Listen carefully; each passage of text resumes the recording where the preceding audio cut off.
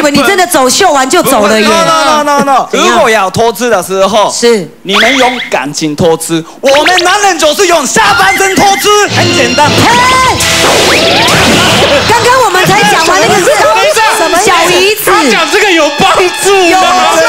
我不懂他讲这个干嘛？他其实想说整集都下绑一下。我跟你讲，以后就把它绑在上面就好，不要用这个了，好吧？每次都它掉下来就可以。不是的，因为你看，就是好男生，比如说为什么我们要是互剪姐姐的，就是就解决了嘛对对对对。但是呢，所以你看很多在日本呢，很多是用付钱，可以就是很多我很很开心的店，有没有？但是就是女生比较少嘛，对不对？因为女生是勇敢、仅骗，就是透支就，代表女生比较有人性。对呀，就是我们请他，所对以啊，你们多矛盾，你是矛盾鬼。我们没有矛盾，OK？都已经有女朋友，不用花钱了，为什么要付钱去偷人啊？新鲜的嘛，不一样的菜啊。那你也很不要，那么看鸡干嘛？不要讲对不对？明明就想要吃，就明明要吃苏喜，还要多吃一个牛排。他有每天吃那个台湾菜，有没有？有时候想吃麻辣烫啊，有没有？一样道理。但是呢，好，对不起，那你就不要固定啊。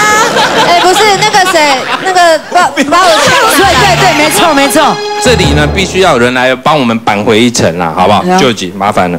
啊，我讲男生的部分嘛。你要坐过去。哦，没有关系，没有关系。其实是是我我讲的这个是因为我最近有收到很多呃，就是网友们他们来问问题。对那这个是他就是所谓的“我爱你”型的，很是经典的一个案子，就是呃，有一个女生跟我讲说，她跟她男朋友在一起四年了，生活一切都非常好，都开心。然后他们两个也就是呃，放假的时候会去帮狗狗洗澡、自工，然后看起来是超阳光的一对。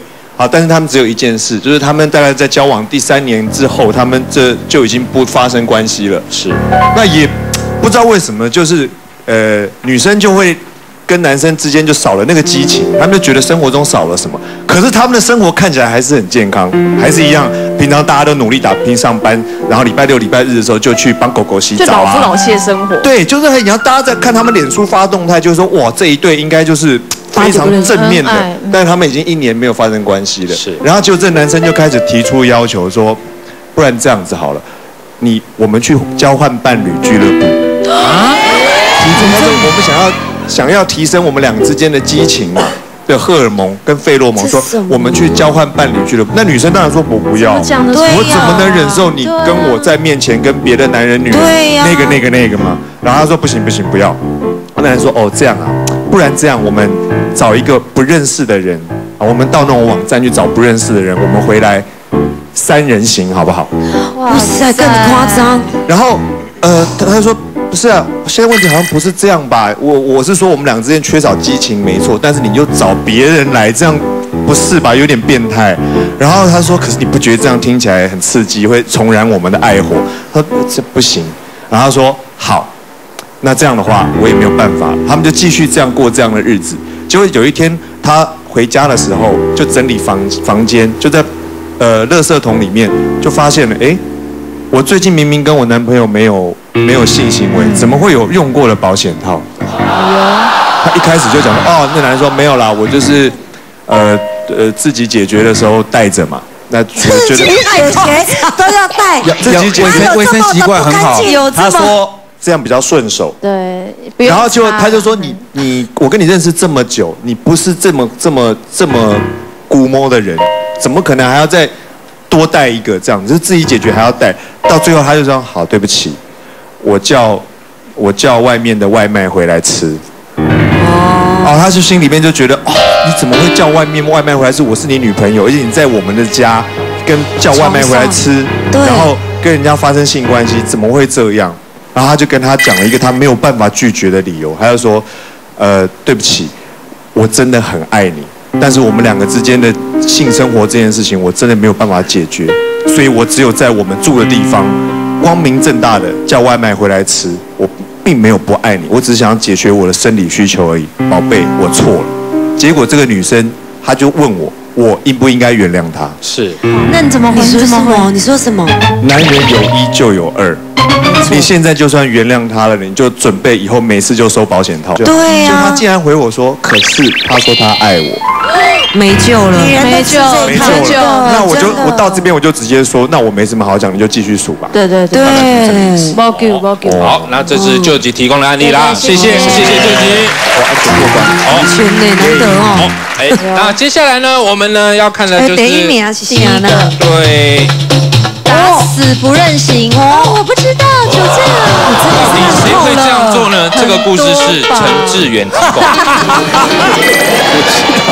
哇，你好衰哦你！对啊，好有是非常熟的一个朋友，然后他朋友还真常常真多出事真多，嘿哦，对，奇怪了，你朋友怎么都这样。你朋友有这么多事吗？先听我讲完嘛，好不好？很像你的事比较多呢。没有没有没有，你听我讲完。然后他是开服饰店的，然后哎，我怎么不认识你有开服饰店的朋友？店？你就听我讲完嘛。真的哎，我只是把这个服，他不是开服饰店，你开服饰店的就 NONO 唐志忠跟我。你是不是有喊习我哦？重点，你有在你有在花莲开吗？没有没有没有，哦不是啦没有嘛没有嘛，对对不对？没有没有没有没有。然后他就就是里面有一个员工，她是女生，然后因为服饰店他会请一个就是比较高挑，然后身材好又会谈吐又好的，然后这种女生会比较销售，对他们卖的衣服会有好这样子。然后因为他们的服饰店后面就是仓库，然后仓库跟厕所这样子，对。然后他们就是就因为只有老板跟员工两个人而已，因为店面不大，然后他们觉得不需要请那么多人，这样子就每天上班这样子。然后有一次他老婆就是因为小孩子的问题，她要去找老公，要去问他这个要怎么解决。然后是不是他们到了，他到了，老婆到了现场，看哎怎么人不在，员工不在，老板也不在，然后他就走进去，哎就听到仓库里面有声音，嗯，就是一样，就是丹田的声音，丹田的声音，对，合唱团，是合唱团对，然后他就火了，他就直接要那个那个什么，那个要开门，就那个那个锁也是喇叭锁，是。可是他那个锁很奇怪，他就锁的时候不是会，他用那个十块铜币可以咔，哦，有声音。直的那种，对对对，他把它打开打开打开，可是他是最后是反锁的，还是打不开啦。最后他是用那个什么手这样敲啊敲啊敲，然后最后他就不知道该怎么，因为没有后没有后门了，也没有后路可退了，这样子，然后之后那女生就到厕所里面去，然后男生就拿了一个铁锤，对，拿个铁锤这样子，然后就，然后他就把开门这样冲去打老婆？没有，他就没有，他拿铁锤，然后老公就开门，开门之后，这样你干嘛啦？他说你们在干什么？为什么那个声音这样子？没有啦，他在是他在后面上厕所，那为什么要蹦蹦蹦的声音就对了？就他就说没有，我就拿铁锤啊，然后我要钉那个木木座，然后要放什么的屁啊，后后因为后面都是那个铁皮屋啊，根本没有木座这个东西啊对，他就这样子一直怎么讲，他就打死不承认不承认。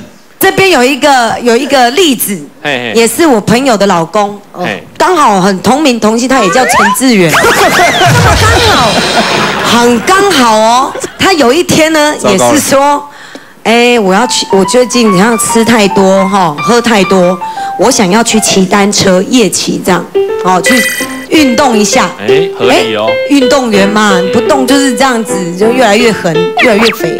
我就因为我不爱运动，我不会跟他去，他可能就觉得我不会跟他去。